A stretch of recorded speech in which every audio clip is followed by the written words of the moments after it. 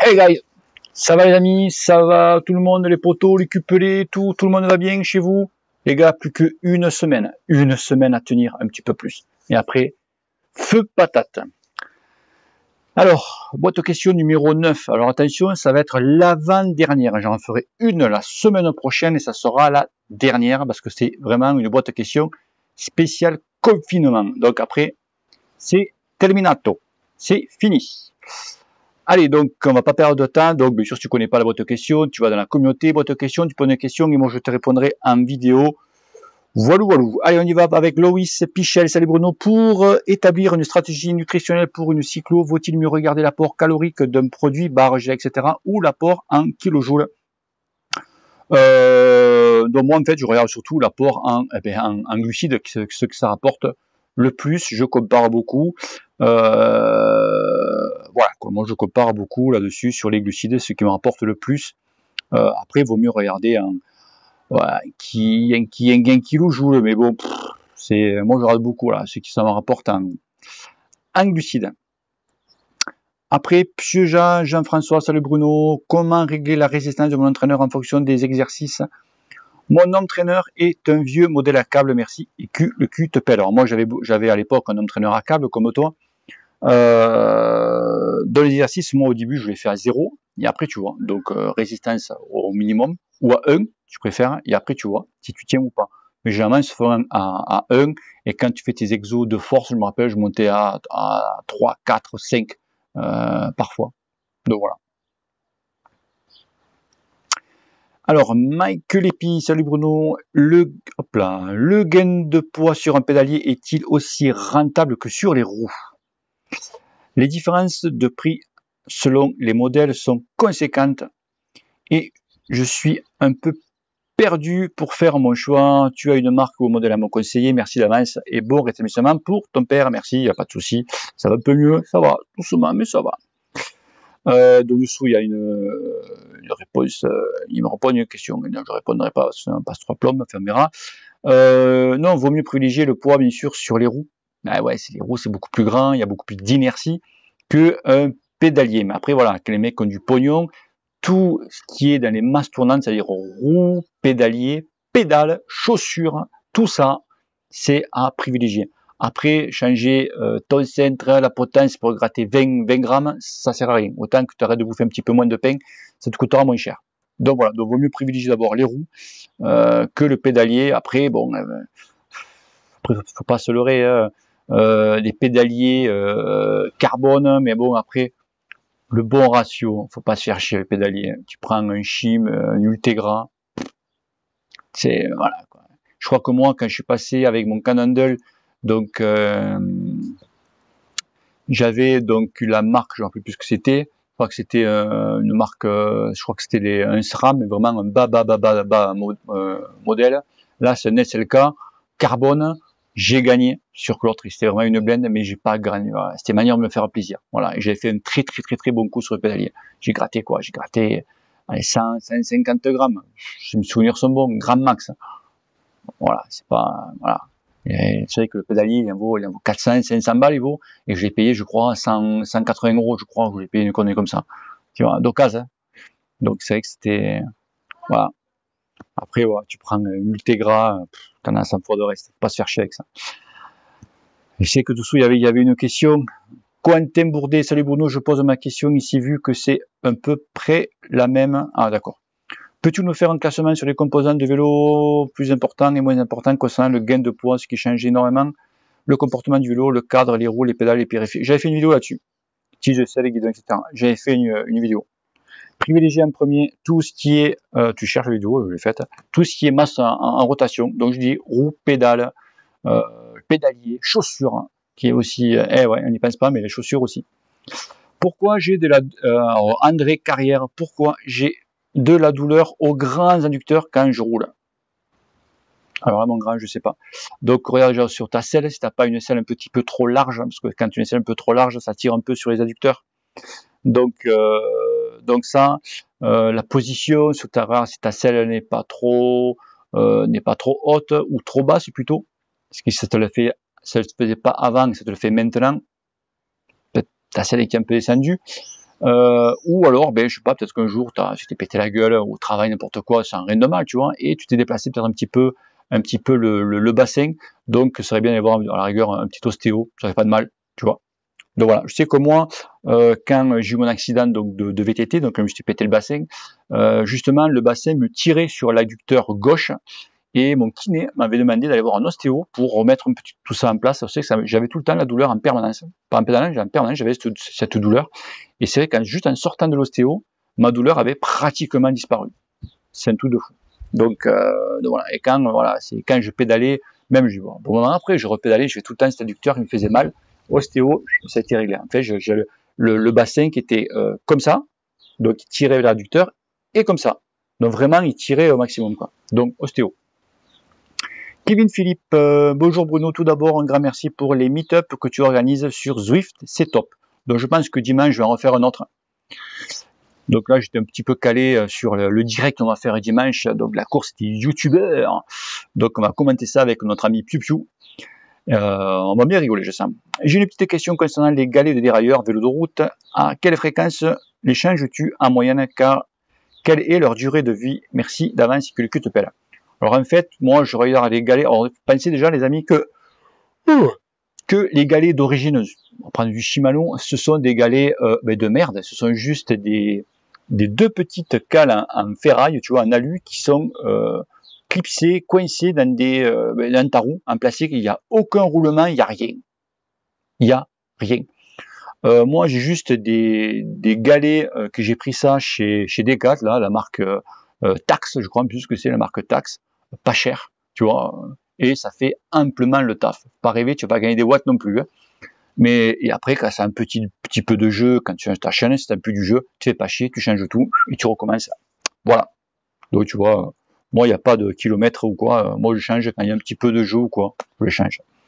Emmanuel Dogliani, eh, salut Manu. Euh, hello Bruno, comment sais-tu des selles Brooks pour le vélo de route sont-elles vraiment efficaces pour éviter que le cul te pèle? Bise Les selles Brooks, Qu'est-ce que c'est ça?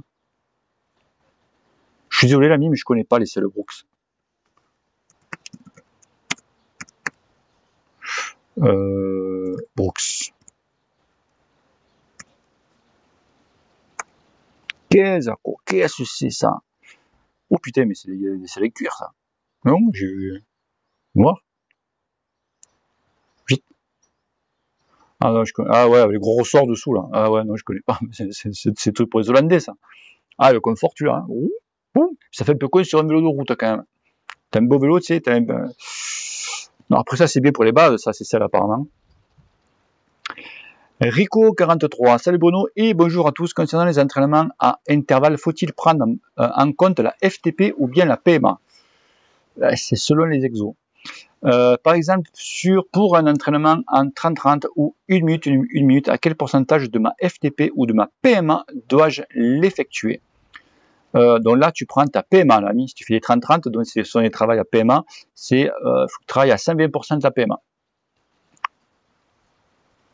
Voilà.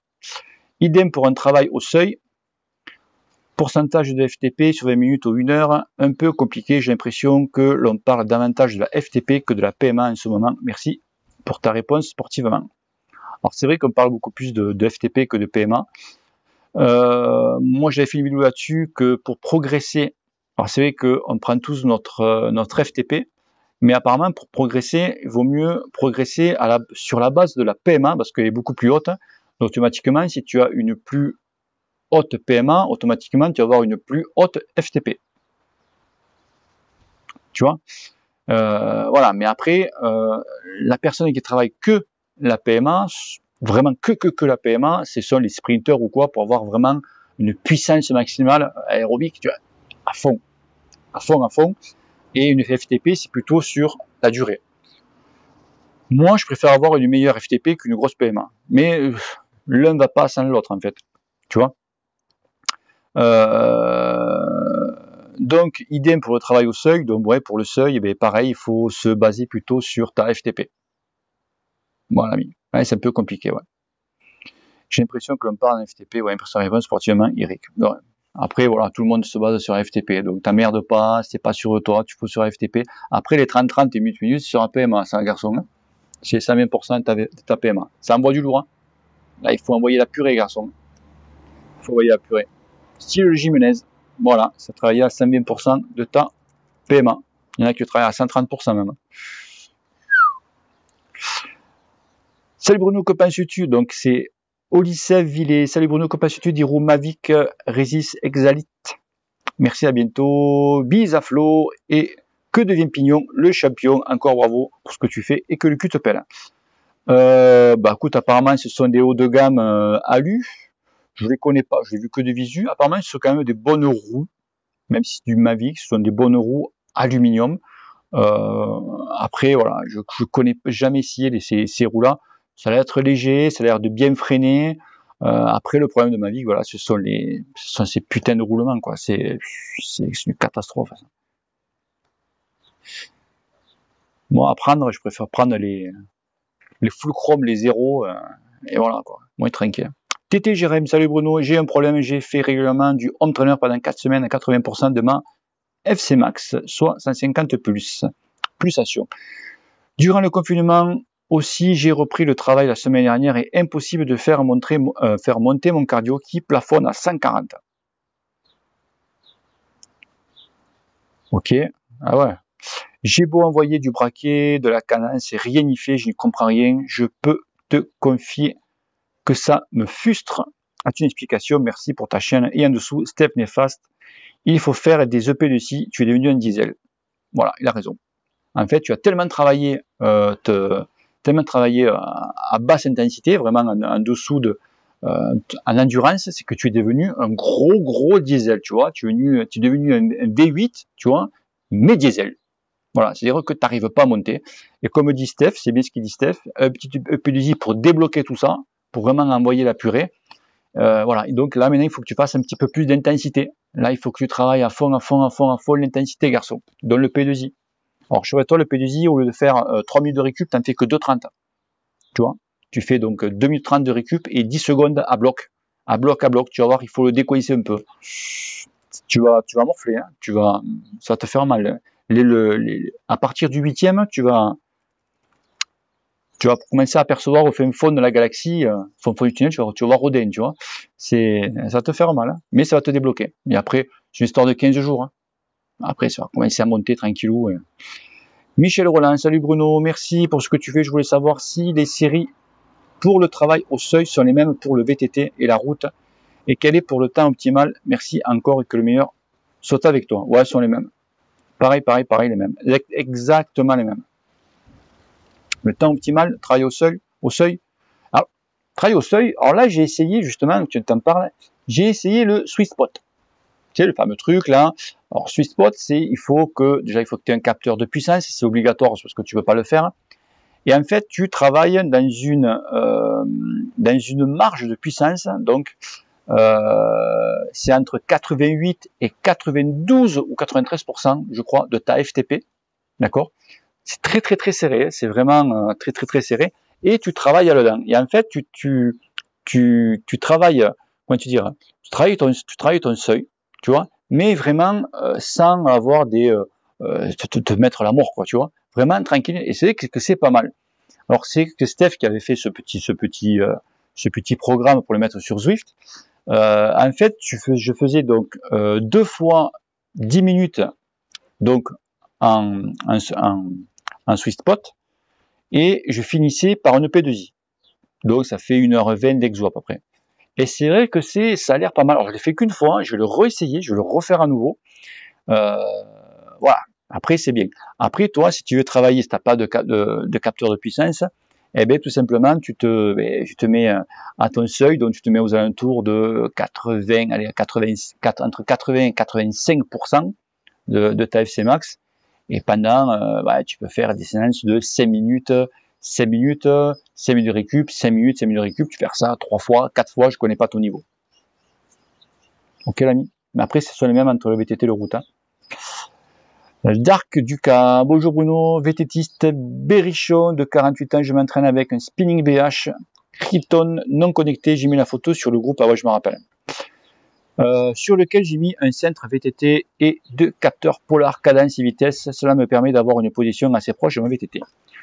Je suis tes conseils qui m'apprennent beaucoup de choses et t'en remercie. J'ai deux questions. Pour les roues de VTT en carbone, je roule en Epic comme 2018-29 avec Roval SL Alu.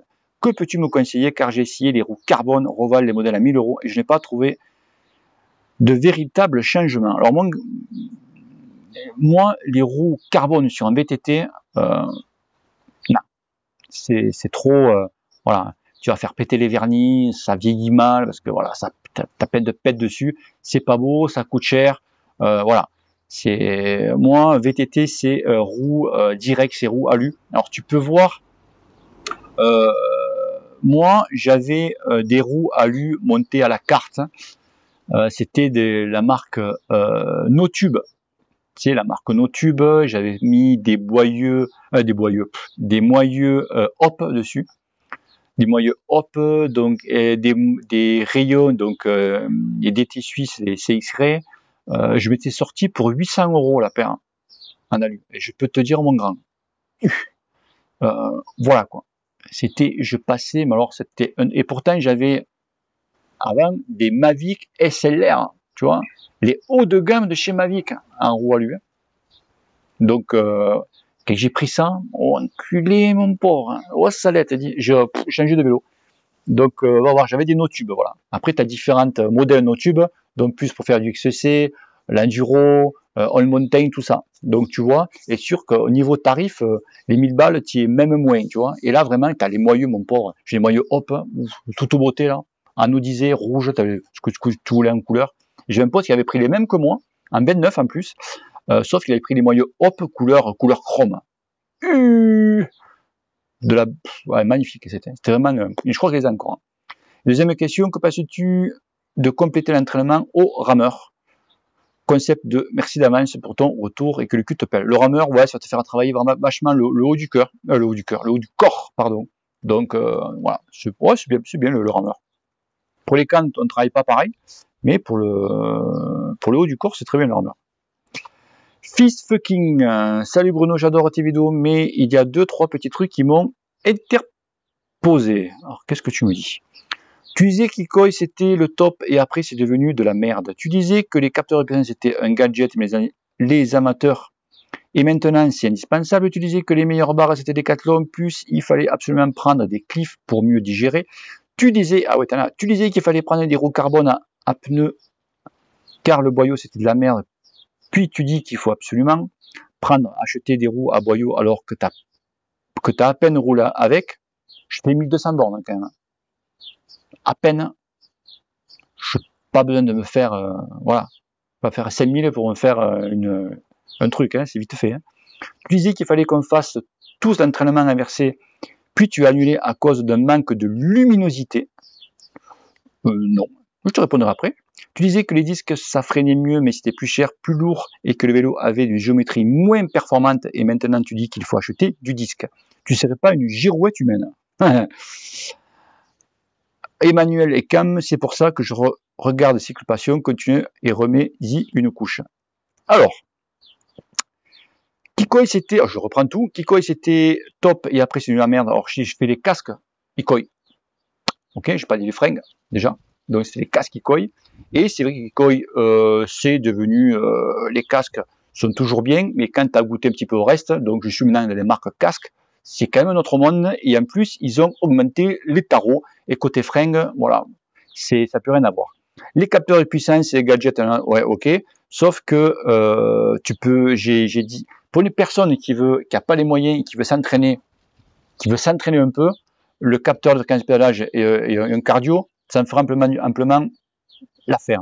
Après, le mec qui va être un petit peu pointu dans son entraînement, oui, le capteur de puissance est indispensable. C'est tout. Voilà. Après les barres Decathlon, il fallait absolument prendre des cliffs pour mieux, digérer. Ben, en fait, cliff, je connaissais pas, je connais que la marque. Et quand tu as goûté les cliffs, c'est sûr que quand tu compares le prix euh, entre les Decathlon qui ont aussi monté le prix et les cliffs, c'est un autre monde. Euh, les roues carbone à plus à boyau, c'était de la merde absolument. Il va prendre les roues carbone parce que tu as peine roulé avec? Ben, je te dis, j'ai fait 1200 bornes avec. C'est vrai que c'est quand même autre chose. Euh, donc voilà. Tu dis qu'il fallait qu'on fasse l'entraînement inversé. Hein, ok, dans l'entraînement inversé, j'allais le faire. Sauf que Willy m'a dit, fais très attention. Il fait, ça peut marcher ou pas. C'est à double tranchant. Donc les mecs qui ont fait l'entraînement inversé et que les mecs maintenant, bon maintenant ils s'en foutent parce qu'il n'y a plus de compète, mais que les mecs sont mecs qui se retrouvent à, la ramasse, tu dis ouais j'ai essayé, sauf que maintenant je suis à la rue. Tu choisis quoi? On te dit tu fais l'entraînement classique, tu vois, endurance, force, etc. C'est sûr que ça va payer, tu auras quand même euh, progressé, tu auras un rendu, que l'autre entraînement inversé, 50-50, tu fais quoi? Alors moi j'ai préféré, euh, voilà, mais à savoir que ça aurait été confiné ou quoi, j'aurais peut-être, j'aurais pu l'essayer. Donc voilà, ça. Euh, que tu me disais quoi? Que tu me disais? Les disques, ouais, les disques. Alors pareil, les disques. Alors je dis oui que les disques freinent mieux que les patins, etc. La géométrie, tu remarqueras que les tout premiers vélos de route, les tout premiers vélos de route, eh ben ils étaient tôt. Eh ouais, ils étaient tôt parce qu'ils avaient gardé la même géométrie que les, euh, les cadres patins. Et maintenant, tu remarqueras que beaucoup maintenant les cadres à disque, ils ont un petit peu euh, fermé les angles avoir moins d'empattement, tu verras que la roue arrière est beaucoup plus proche du, du, tube de selle. Tu verras que maintenant les roues elles sont vraiment rapprochées, soit pour rattraper un petit peu, euh, avoir un vélo un petit peu plus vif. Et euh, le poids d'un des, des, des, des, disques au général, bon maintenant ça a vachement diminué. À l'époque on avoisinait presque, presque les, je dis pas le kilo, mais les 700-800 grammes, maintenant on est tombé à la moitié, maintenant on a 300-400 grammes à peu près. Ok? Et, euh, l'avenir, l'avenir est au disque. Tu peux dire ce que tu veux. Euh, voilà, tous les tous les fabricants maintenant sortent du disque. Le patin, euh, voilà. Donc le mec qui va investir 4 000 euros, euh, tu faudrait pas les boules, toi, ça n'est quoi Tu investis 5 6 000 euros sur un disque, d'accord Et que tu, euh, sur un patin, pardon, et que tu vois que ben, maintenant il va, il va vendre que plus que du disque. Et tu as repris de ton vélo, on va te le reprendre à 1500 balles parce que plus personne n'en veut du patin. Tu comprends le truc? C'est ça le truc. Alors, je vais revenir encore en arrière. Hein. Donc, je dis que Ecoy, c'était, euh, voilà. Alors, si j'étais à fond, je dis Ecoy, c'est le top et tout. Donc, je vais me faire pourrir par les mecs pour dire Ecoy, c'est de la merde. Parce que moi, je préfère Castilly, etc. T'es d'accord? Hein, parce que j'en jamais content. Si je disais que euh, les capteurs de puissance, c'est le top, le top du top, on peut pas s'entraîner sans faire de capteurs de puissance. Donc, tu vas voir les autres mecs, qu'est-ce que tu racontes de conneries? Moi, je m'entraîne au cardio, et ta Ça va très bien comme ça, je progresse. Tu vois le truc? Les meilleures barres Decathlon, et si je dis que Cliff, c'est le top du top, il n'y a pas mieux un Cliff, les mecs vont pourrir parce qu'ils prennent euh, la marque euh, Tartampion. Toujours, il y aura toujours une, contradiction. Si je disais que les boyaux, il n'y a que ça de mieux, les pneus c'est de la merde, donc les mecs qui roulent à pneu en tubeless vont me pourrir et me disent ouais c'est pas vrai, le, le tubeless c'est le mieux, le pneu c'est tu t'en sortiras jamais l'ami. Alors plus euh, disque patin, ne m'en parle pas. Je dis que le top c'est le patin, le, disque, le disque, le disque, le disque, les mecs vont pourrir, qu'est-ce que tu racontes, le patin, et... tu vois, c'est le bordel. Et après, il y a que les cons qui changent pas d'avis. Je dis, tu vois. Mais euh, voilà, que tu après, euh, tu as raison de poser la question, tout à fait. Je prends pas mal, hein. Oups, là, mon pauvre. Nicoco 113. Hello Bruno, voilà ma question. Je viens de commander un homme trainer classique chez les 4 car plus de stock, et ouais, mais pas grave pour ceux que je compte en faire. J'aimerais savoir quel entraînement je pourrais faire pour, perdre du poids, étant donné que je n'ai plus fait de sport depuis un bon moment et les conséquences du confinement se sont ressentir. Un grand merci de tes conseils que te pèle. Ben, au début, tu peux faire de l'EP2I. Le P2I, voilà, ça va un petit peu, il y a un, y a un effet afterburn qu'on appelle, c'est vrai que tu vas continuer un petit peu à cramer euh, voilà, un petit peu de, de, gras. Alors attention, si tu fais le PDJ et que derrière tu t'envoies les saucisses, un gâteau et tout, oh, c'est compris, d'accord?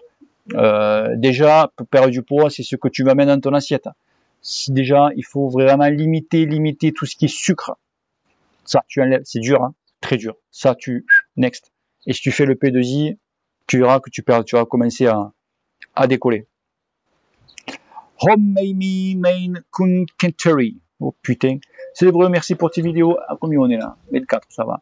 Je suis en train de préparer ma configuration chez Origine et j'hésite sur les pédaliers entre un 53-39, 52-36 et 50-34.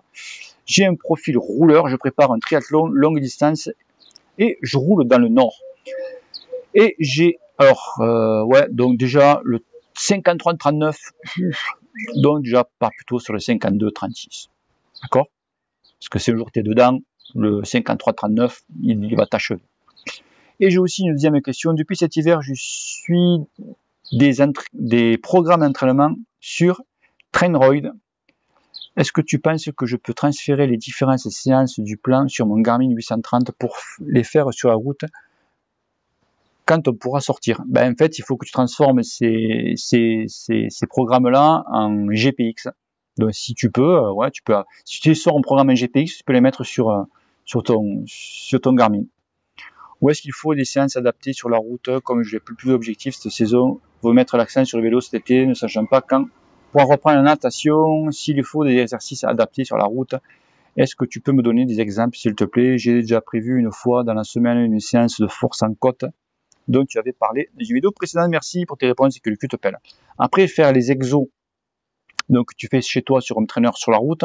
Après, sur la route, voilà, sur la route, c'est la merde. Sur la route, c'est toujours emmerdé. Un stop, une voiture, n'importe quoi, t'es pas bien concentré. Sur un trainer, t'es concentré. Voilà. Après, sur la route, tu peux faire donc une séance de l'endurance et de la force. Ça, ça n'empêche pas. Si tu sais qu'il y a une très très longue route où tu n'étais pas emmerdé, tu peux faire des petites séances de seuil. Tu vois, 3 minutes, ouf, tu bombardes, tu fais 3 minutes de récup, 3 minutes, tu reprends. Tu vois, il que des petits fractionnés comme ça. Mais ça, tu peux pas le programmer. Je veux dire, là, c'est toi, tu vas essayer de faire une sortie d'endurance, tranquille, je vais essayer de passer par là, et quand je vais arriver sur cette route, Là, je vais faire du seuil. Après, je vais continuer. Je vais monter une petite bosse. Là, je vais travailler la force. Tu vas faire des petits trucs comme ça. De pas faire des sorties à la con manière de, voilà, de, sortir, de faire des heures de sel qu'on appelle. Ok, l'ami? Donc voilà. Mais après, voilà. Euh, pour ton pédalier, 3052, euh, largement suffisant. Philippe Girardi, bonjour Bruno on a eu des débats sur patin contre disque. Oh putain oui, la nouvelle question est vient naturellement, gravel ou VTT Je m'explique que nous avons tous dans nos régions des superbes randos à faire sur des parcours, routes et chemins. On va pas prendre nos beaux vélos de route pour faire ça. On va tout péter. Le gravel me paraît un bon compromis. Personnellement, je ne suis pas bien sur un VTT. Mais le gravel, faut voir. Moi, franchement, à prendre entre un gravel et un VTT, moi je partirais sur le VTT. En fait, tu prends un VTT, un semi-rigide, avec juste qu'avec la fourche devant, en 29 pouces. Tu, pas à peine que tu prends des gros boudins, euh, voilà, tu prends euh, du boudin, euh, un pneu, je te parle. Tu prends du, du 220 ou du connu comme ça, donc c'est pas le truc de fou, même un, pneu VTT du 210, tu vois, mais en 29, tu passeras partout, garçon. Et au moins, tu auras quand même le confort du VTT. Les gravels, voilà, moi, gravel chez moi, c'est pas possible. Toute la caillasse qu'il y a, tu, le, tu le flingues, le machin. Moi, je dis que le gravel, c'est un effet de mode. Voilà. Et dans quelques temps, je suis sûr que le gravel va plus entendre parler. C'est un effet de mode, le gravel. Parce qu'après, les mecs, ils prennent plus que leur route, là, le, le gravel, ceci, cela, les pneus, ils se bouffent, parce que voilà, les pneus, et les petits crampons, tu prends VTT, t'en parles plus, quoi. Voilà, c'est, moi, je préfère VTT, facile. Hein. Semi-rigide.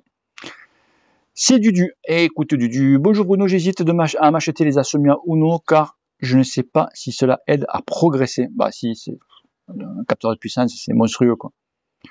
Je ne sais pas non plus comment structurer mes entraînements à partir de mes données en watts. Peux-tu me donner quelques conseils? Merci à toi et que le cul te pèle. Alors, si tu veux vraiment faire des entraînements de qualité, le capteur de puissance, j'ai béni de qualité, pas l'autre Gus, la question juste avant, on peut s'entraîner juste avec un capteur de fréquence de pédalage et un cardio. Voilà. Mais c'est pas exact. Tu fais un entraînement. Tu t'entraînes. Mais tu progresses. Attention, les gars. Je crache pas dessus. Je commençais comme ça. Euh, voilà. Euh, mais le capteur de puissance, je dis pourquoi euh, le cardio c'était pas fiable. Mais le capteur de puissance, vraiment, ça t'apporte vraiment ce que tu as dans les guibolles, quoi, en fait. Voilà. Ça, tu peux pas le cacher. donc au début, tu vas prendre ton, ton capteur, tu vas sortir, et bien sûr, il te faut, il te faut par contre un, un Garmin, quelque chose pour après pour lire euh, si tu as progressé ou pas, pour dire tes watts, combien tu vas faire sur 20 minutes, etc., etc. Donc je sais pas ce que tu as l'ami. Donc moi après je suis sur Garmin, je vais sur Garmin Connect. Ça me dit sur nombre de sur 20 minutes combien de watts j'étais, etc., etc. Et après tu ben après ben j'ai plein de t'as plein d'exos, euh, exercices sur home trainer ou même sur la route à rouler à tant de watts. Des fois, j'ai fait des sorties. Euh, je je fais une sortie. Il ne faut pas que je dépasse 230 watts. Tout simplement, je fais ma sortie, fait dépasser ou en dessous. Je fais toute ma sortie à 230 watts. T'as un cardio, ça, tu peux pas le faire. Hein. Et tu peux pas savoir comment tu progresses. Hein. Ah, voilà. Tu montes 230 watts, sur plat 230 watts. Tu bouges pas. J'ai fait 100 bornes, je fais des sorties de 100 bornes comme ça. Je bouge pas. Et après, je dis, je fais ça 15 jours. Après, hop, 240. Bon, après, euh, c'est trop dur. Hein. Mais, voilà. Mais tu cherches des exos, il y en a, il y en a blog. Après, tu peux refaire les, les exos si le, le, sweet spot, tu vois, tu prends ta FTP, donc tu vas avoir ta FTP automatiquement, ça va le calculer. Et voilà, tu vas travailler entre 88 et 93% de ta FTP. Tu vas dire, il faut que je roule à 250 watts. Et eh bien, tu fais des fractionnés, 10 minutes à 250 watts. Et après, des récup, etc., etc. C'est pas mal, hein C'est très très bien. C'est vrai que cardio, tu peux pas le faire. Hein. Alain Bouy, euh, non, euh, non, oui, c'est ça. Salut Bruno, quelle sera ta préparation pour la cyclo du Ventoux? C'est allié, garçon, parce que je crois que c'est mal barré. Donc, la cyclo du Ventoux, c'est le 6 septembre. Euh, quand tu entends parler que c'est, euh, il faut pas sortir à plus de 10, tu vois, euh, voilà, donc je sais pas, je ne sais pas plus. À la sortie du confinement, je compte réacquérir progressivement de l'endurance. Début mars, j'avais fait une sortie 5 heures, 130 bornes, 950 de D+, 27 de moyenne. Ah, c'est pas mal. C'est-à-dire de faire des sorties de 7 heures d'ici fin juillet pour faire en août du fractionné, seuil, PMA, enchaînement des bosses, etc. Qu'en penses-tu? Que ferais-tu? J'ai également une deuxième question. Je ne n'ai pas fait d'étude posturale basique depuis l'achat de mon vélo fin 2014. Devrais-je en faire une du même type, merci beaucoup. une étude posturale, il faut la faire, hein, c'est direct. Il faut faire une étude posturale. Après, pour revenir à ton, à ton, après le déconfinement, euh, là, moi, je vais reprendre, donc dans une semaine, un petit peu plus, les trois jours, je vais rattaquer tranquillou. Je vais refaire de l'endurance, enfin, de l'endurance. Pas pure, hein, parce que l'endurance, on l'a tous, on a travaillé sur un traîneur comme les enculés pendant, pendant, pendant un mois, là. Euh, donc reprendre un petit peu les sensations sur le vélo, euh, le positionnement, etc. Euh, donc ça, je vais faire ça une bonne petite semaine. Je vais continuer quand même tout ce qui est boss à travailler ma force, tranquillement, mais sûrement, tu vois, pas trop, je vais faire tout ça. Et après, ouais, voilà, vers vers tout le mois d'août, après, ouais, je vais essayer vraiment de travailler vachement, voilà, comme tu dis, PMA. Il y a encore la PMA. ouais, je travaillerai un petit peu de PMA et bien sûr seuil, mais surtout surtout force quoi. Voilà. Mais force euh, plutôt puissance, quoi. Voilà, en danseuse. Voilà, spécialement en danseuse. Donc je vais tourner 70 euh, tours et 70, euh, 80 tours même, mais force danseuse, quoi. taper un col, là, on en a par chez moi. Je vais taper 7 km. je vais essayer de faire un maximum en danseuse. Et c'est impressionnant comme tu progresses. Assis, euh, travailler à force assis, euh, maintenant monter un col assis, je, je dis pas que j'ai du mal, je monte, bien sûr. Mais c'est vrai que je regarde de plus en plus en danseuse. Patrick Boutonnier, salut cher voisin d'Occitanie. Toute, toute petite question concernant le déplacement pour faire une bonne cyclo. Pas la randonnée du pâté de la maison, que préconiserais-tu pour optimiser la fraîcheur pour le départ euh, d'un des deux fondos du Ventoux en tenant compte du déplacement Toulouse-Bédouin Ça, c'est pas loin. J'imagine l'avant-veille, oui, bien sûr, au moins tu dors bien la nuit, quoi. Mais si une arrivée la veille en début d'après-midi serait suffisant au niveau, au niveau de la récup. Euh, ouais, bien sûr. Bah oui, euh, t'arrives, eh, ça c'est pas loin, hein, Toulouse-Bédouin. Oui, début après-midi, tranquille, hein, t'auras pas un de fatigue, hein, pas du tout. Hein. Bien sûr, la dernière nuit est importante, mais j'aimerais avoir ton avis. Merci et continue de nous faire vivre cette passion du vélo avec toujours autant de soleil dans ta voix, Patrick. Oui, et moi j'arriverai aussi la veille. Voilà, veille, début d'après-midi, tout ça. De toute façon, pour le Ventoux, tu es obligé d'arriver la veille pour récupérer le dossard. Alors, euh, de moi là, quoi. Corentin Boudet, salut Bruno, avec le déconfinement du 11 mai, on va enfin pouvoir sortir notre tanière et voir la lumière. Ah, la lumière, moi, à 7 heures, je suis sur le vélo.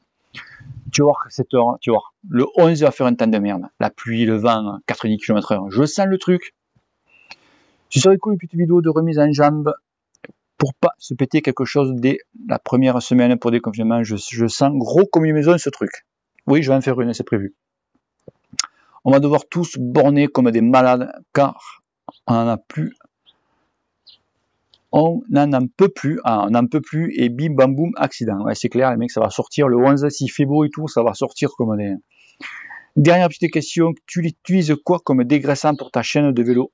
Tu peux nous le montrer, j'en ai marre qu'elle soit sale et ça met partout. Je dois pas utiliser le bon produit. Ben, moi j'utilise euh, de l'alcool, euh, de l'essence, euh, je sais plus quoi là, un bidon là, voilà, de l'essence, je crois qu'on s'appelle, ou de l'alcool à brûler. J'utilise ça là, j'ai le truc des Decathlon là, tac tac tac, et après je passe la cire hein, du skirt qu'on appelle là. Ça c'est nickel. T'as as la chaîne, elle graisse pas que dalle. Tu veux même passer le doigt dessus, c'est propre. Voilà. Voilà, mais après pour la vidéo, c'est prévu. Dominique Vallée, bonjour Bruno, que penses-tu des roues de marque Asterion, qui est un moteur de le français? Merci pour ta réponse, Très bien Asterion. Très très bien. Comme tous les autres d'ailleurs. Hein. Michel Roland, salut Bruno, encore une petite question. J'ai acheté des pédales Favero, Asomia ou non? Est-ce que je suis obligé d'acheter un Garmin ou l'application sur le portal suffit? Merci pour ta réponse. Application quoi? Asomia Ah non, chemin, c'est juste pour la paramétrer, faire une mise à jour, etc. Après, non, il te faut, euh, il te faut un compteur pour, ben, ben, pour, lire combien tu as fait de watts, etc., etc. Normal, non? Ben oui, sinon, euh, tu sais pas, ça ne sert à rien. Antoine, salut Bruno, connais-tu les vélos de la marque Megamo J'ai vu le modèle Megamo Plus Elite 20, qu'en penses-tu? Et quelle utilisation est destinée Que choisir entre celui-ci entre celui-ci et un Scott Addict 20 Comme Scott, parce que Megamo, je connais pas. Hein. Megamo, Megamo. Non, je connais pas mais, euh, la marque Megamo. C'est euh, Megamo. Qu'est-ce que c'est ça, Megamo Alors, euh, Megamo. Megamo, Megamo, Megamo, Megamo cycle. Qu'est-ce que c'est ça, Megamo Oh putain.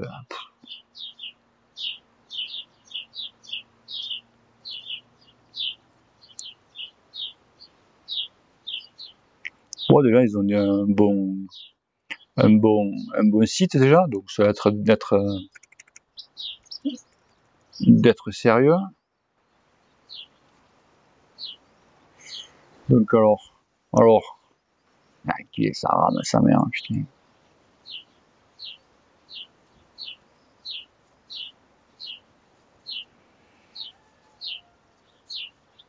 Oui, ça a l'air d'être. Euh, ah oui, ça y est. Ah ouais, je reconnais. Hein.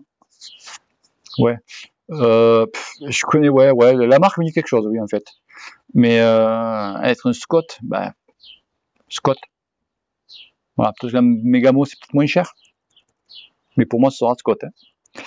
Morien Corentin, salut Bruno, Corentin, 20 ans, 1m91, 72 kg.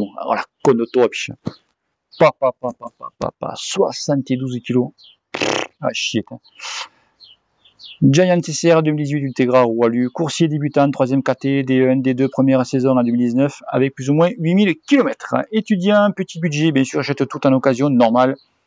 Un type de consommation à fortement encourager, quand c'est possible, bien entendu. J'hésite entre les roues carbone au un capteur de puissance, type Asomia, mono, budget 300-400 max, quel le choix le plus judicieux? Ah, même l'annonce est passée si jamais, donc Merci pour ta réponse. Pas de 11 mai pour moi. L'école m'a collé un devoir en ligne d'enculé. Profite. ben en fait, entre donc, tu hésites donc euh, entre capteur de puissance, tu veux conditions fortement encouragé, j'hésite entre roue carbone et capteur de puissance. Ben en fait, un petit peu, c'est comme euh, tu prends une voiture, tu vas comprendre. Tu prends une voiture et dans cette voiture-là, euh, tu as, je sais pas moi, tu as deux voitures je m'embrouille, excuse-moi, tu as deux voitures. Tu as une voiture avec un moteur dedans de 500 chevaux. Par contre, il y a des roues euh, en acier, tu vois, des roues en tôle, tu vois, où tu poses l'enjoliveur dessus. Tu vois, bon. Quand même une voiture à 500 chevaux, quand même, tu vois?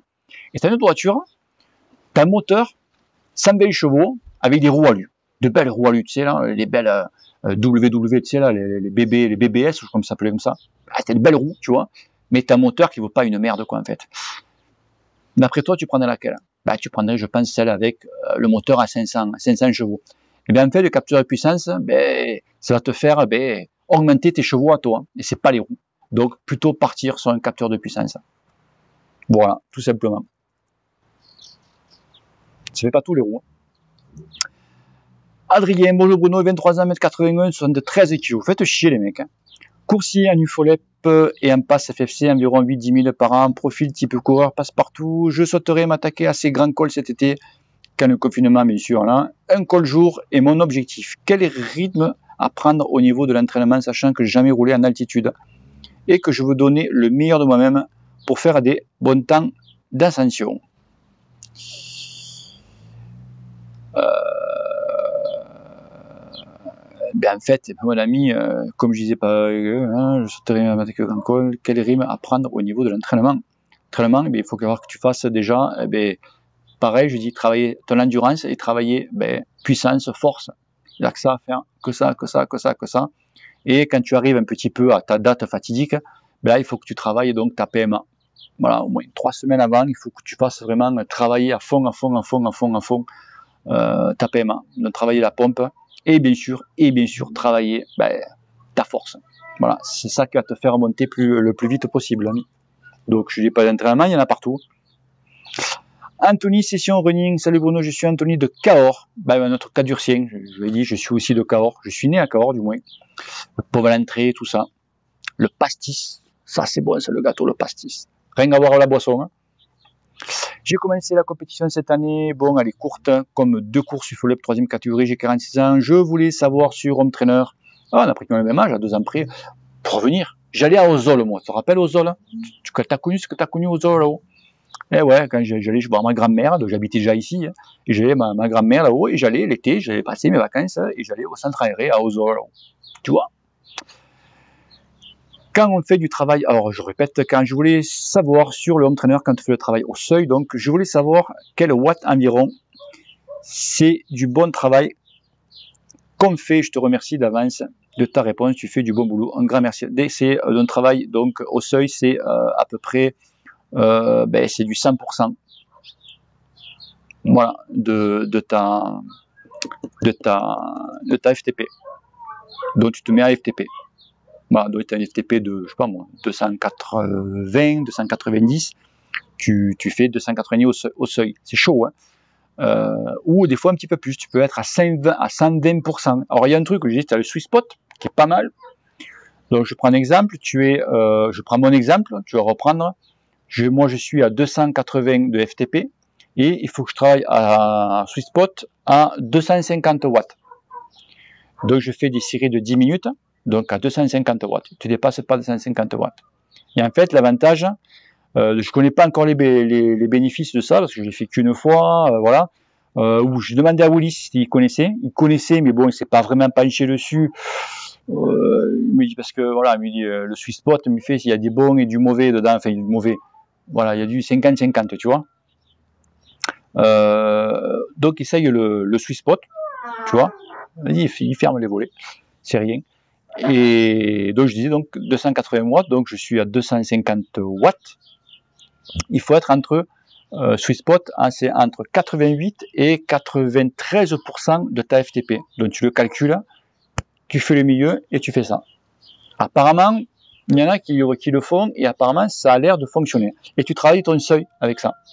Tu travailles ton seuil, tu veux travailler même apparemment ta VO2 max, tu travailles mieux ta VO2 max c'est pas, c'est pas, moi je dis que c'est pas mal parce que ça te permet de pas vraiment te, rentrer dans la gueule quoi en fait. T'es, es assez frais, t'es assez frais. Donc à, essayer, essaye-le. Dajo, salut Bruno, j'hésite à m'acheter un entraîneur connecté, capteur de puissance comme les pédales à Somia. Je m'entraîne plusieurs fois par semaine au, en spinning pour le spécifique et une sortie le week-end hors confinement bien sûr quel serait le choix le plus judicieux pour progresser? Ben moi, euh, ou capteur de puissance, capteur de puissance, capteur de puissance au moins sur le vélo, tu peux le mettre, tu peux, tu t'en fais ce que tu veux, capteur de puissance. Donc, j'ai un chat.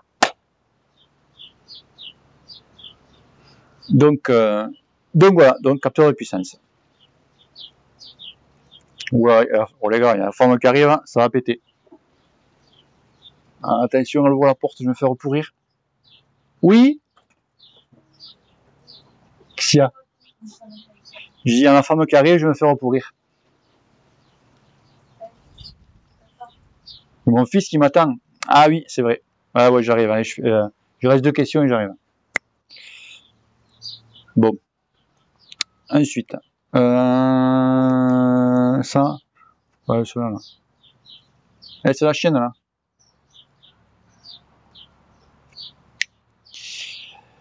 Manu de, euh, Dédec, bonjour Bruno, moi c'est Manu 48 m 80 triathlète au pays 100% rouleur, je par c'est jamais bien l'effort, en boss, je ne suis pas bon. Je dispose de deux vélos, un contre-la-montre Canyon, je viens de monter un contre-la-montre des plateaux ovales de la marque Dual Oval, et pour gagner en fluidité de pédalage. Ouais. Et peut-être en fatigue. Que penses-tu des plateaux ovales? As-tu déjà essayé? Non, jamais essayé. Merci pour ta réponse. Continue comme ça étonnant que ça m'envoie un peu soleil qui manque parfois d'ici. À bientôt, peut-être sur Zwift et que le cul te pèle. Alors moi franchement, les plateaux ovales, moi j'ai des collègues qui ont roulé avec, après ils ont changé de vélo, ils sont passés au plateau rond, et eh ben ils sont pas revenus au plateau ovale. Ils me disent non franchement, un bénéfice, un bénéfice, euh. T'as un changement quand tu changes du rond à ovale, mais après quand tu fais le contraire, euh, ils ont pas trouvé ça, voilà. Pourtant ils en avaient, mais après, s'ils n'ont pas repris, euh, moi j'ai un collègue qui roule très très très fort, il a fait champion du monde et tout. Il avait un plateau ovale. Il passe au plateau rond et euh, il reste au plateau rond. Donc, euh, si lui fait ça, euh, voilà quoi. Tu vois. Christine Mulet, bonjour Bruno, je suis une pauvre femme de cycliste avec, un, confinement home trainer à TOC. J'ai donc essayé la chose avec votre entraînement de pelouse trop trop trop dur. Voici madame, je serai, voici ma demande. Cela serait sympa de faire une petite vidéo pour épouse débutante. Merci. Le P2I est trop dur pour toi. Ah, c'est pas dur le P2I, hein, ma grande. Hein. Ah il faut que tu persévères. Parce que le P2I, c'est pas, t'as que 10 secondes d'effort. Hein. Et après, euh, c'est que, que de la récup. Donc là, euh, faire au moins, euh, ah, je vois pas ma, petite Christine. ok? Donc le P2I, c'est pas, c'est pas dur, dur, dur. Il faut persévérer. Ok les amis, bon allez, j'arrête, mais plus c'est la dernière, j'ai fini, parce que j'ai un fils, il va être en visio pour l'école, et ouais, il va faire de l'anglais. Ok les potos. Allez, bis, ciao ciao. Donc je vous rappelle, c'est l'avant-dernière, la semaine prochaine, c'est la dernière. Allez, peace et n'oubliez pas, dimanche, de 14h50, eh bien, la course des youtubeurs que je vais euh, alimenter, que je vais commenter avec Pupiou. Allez, peace et que le cul te pèle. Allez, ciao.